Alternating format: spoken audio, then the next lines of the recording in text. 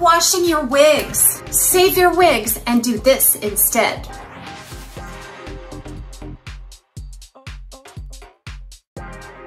So I'm not here to tell you never to wash your wigs. uh, but as a wig wearing community, I think we wash our wigs way too often and that can actually uh, shorten the lifespan of your wig style. Anytime we wash our wig and manipulate the fibers, it actually loses a little bit of resilience each time. So when we take a new wig out of the box, we love the feeling, the silky feeling of a perfect brand new wig. And it doesn't take long to start to notice some wear and tear. And I don't want to contribute to that by washing my wigs unnecessarily.